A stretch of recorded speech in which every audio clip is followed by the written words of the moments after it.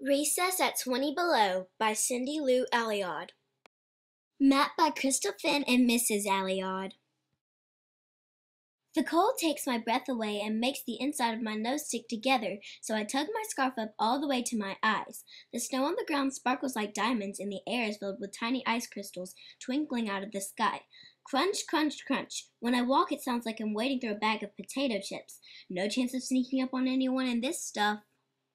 I live in Alaska, right along the Alaska Highway. Winter lasts a long, long time here. It seems like forever, but really there's only snow on the ground from September until April. But sometimes we get a snowstorm in May or even in August. At our school, we go out for recess even when it's 20 degrees below zero. Getting dressed to go out takes a long time.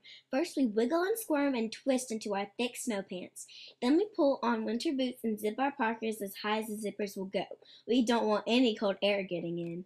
Next come the hats. Some hats cover our whole faces so you can only see our eyes and mouths peeking out. Since we need our fingers to put on all those clothes, our mittens or gloves go on last. Finally, we're ready to go outside and play, but I can hardly move in all my winter gear. I'm as big as a sumo wrestler. As I waddle down the hall, I usually see someone run back to go to the bathroom. Sure hope they make it. When we get outside, I look for my friends. All we can see is each other's eyes, so it helps to remember what colors they are wearing. Samantha reminds me of a giant pickle in a green parka, and Megan, who is dressed all in purple, looks like a jar of grape jelly. It's fun to go sledding during recess. Every time it snows, our maintenance man clears the snow from the school parking lot and dumps it in the middle of the playground. Our sledding hill grows and grows all winter long.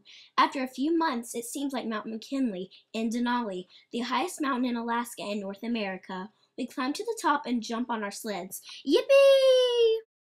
Sometimes we play on the swings, but by the middle of winter, the snow gets so deep there's no room for our legs. We have to throw the swing over the top to make the chain shorter, and the teeter-totters usually freeze to the ground.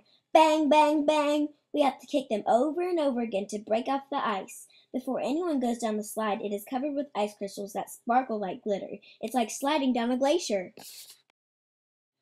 When it's this cold, we have to be careful never to touch our tongue on something metal. It will stick. Then the teacher will have to use a hair dryer or pour a glass of warm water over it to get your tongue free. How embarrassing. And snowball fights aren't as easy as you might think, where the air is so dry. When it's really, really cold, our snow is like powder. We can't even make snowballs, but we like to throw it in the air anyway. We toss up puffy snow clouds and swirling tornadoes. When the wind blows, the snow gets packed hard and then we can break it into chunks like giant bricks. We stack the chunks to make forts that go high above our heads. Inside our forts, we keep nice and warm even when the wind is howling outside. Sometimes we make tunnels in the snow too. When we pop our heads out, we look just like bear cubs spying on the action. The only bad part is when the snow goes down our backs while we are tunneling. Brrr, that's cold. Some days we play soccer or football during recess. Even at 20 below zero, you can get too hot. It's hard work running in big heavy boots and thick snow pants. The more we move, the warmer we get. Playing hard means breathing hard. The moisture from our breath floats up to our faces and makes our eyelashes freeze. They feel so thick and heavy, it's hard to even keep them open. The hair around our faces also gets white with frost, so we look old and gray. Some people say that frozen hair will break if you touch it, but mine never has.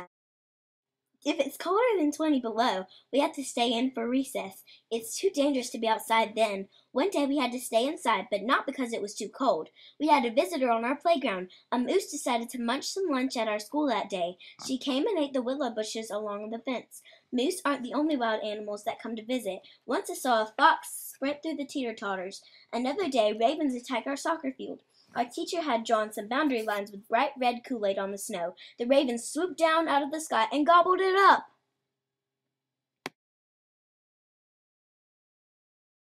Our recess is always at noon because it is the sunniest time of the day in my part of Alaska. It isn't very bright though, more like early evening.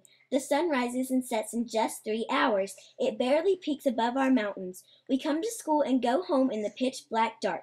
And if it's cloudy and snowing during recess, the sky gets dark even at noon, and it feels like we should get our flashlights out. But it sure makes for good games of hide and seek. By the time the whistle blows to go inside, our cheeks are bright red, our noses are running, and our toes are numb. When we line up, we create a cloud of ice fog from everyone breathing in one place. Our breath freezes into tiny specks of ice that hang in the cold air. Clomp, clomp, clomp. We sound like a bunch of elephants walking the hallways in our big clumsy boots. When we get to class, we peel off our winter gear. Lots of us get wild hair because the air is so dry and our hair is full of static. Sometimes we get big shocks too as we pull off our hats. Ouch! It can really zap. Our classroom sure is a mess with snow pants, parkas, mittens, hats, and boots piled all over the place. Everyone tries to hang up their stuff all at once, so it's easy to get your snow gear mixed up. It seems like we spend hours hunting for the right hat or mitten to hang on our hooks. When we finally settle into our chairs to begin our afternoon lessons, I stare out the frosty window and hope it's not colder than 20 below tomorrow. I can't wait to get back outside and make sure our fort is still there, or maybe I'll go sledding. It won't be long until the sun will feel a tiny bit warm during recess. Then we'll see our sledding mountain shrink and we'll hear the drip, drip, drip of melting icicles. We'll stow our sleds until next winter and get ready for the midnight sun to chase away the darkness. One day, not too far from now, we'll be riding our bikes past 10 p.m. because the sun will only go down for three hours. But until then, I love recess at 20 below. Crazy.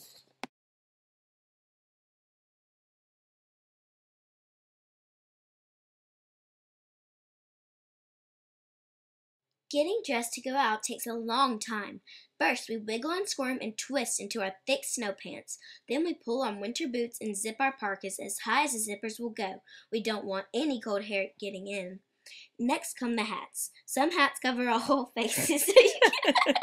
I, I said we don't know any cold hair.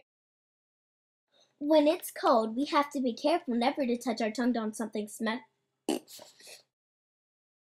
If it's colder than fog from everyone breathing in one place, our breathe freezes.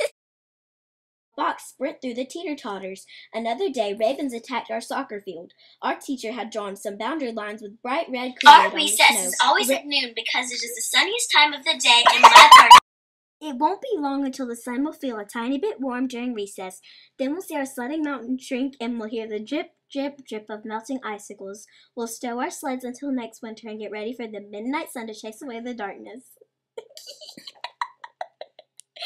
One day, Nectar